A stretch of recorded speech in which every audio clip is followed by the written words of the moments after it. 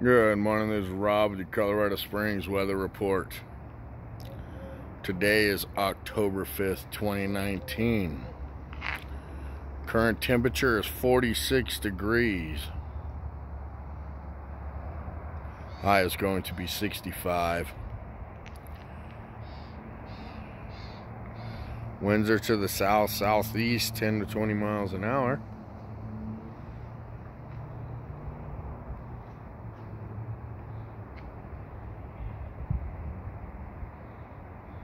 No chance of rain today.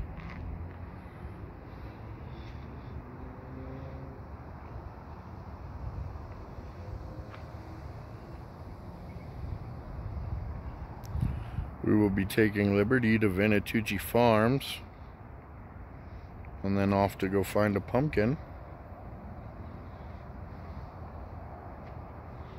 Hope everybody has a wonderful Saturday.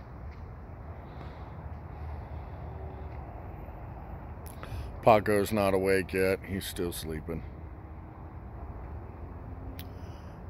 Said it's too cold and windy. I'll be out in a little bit when the sun heats up the ground.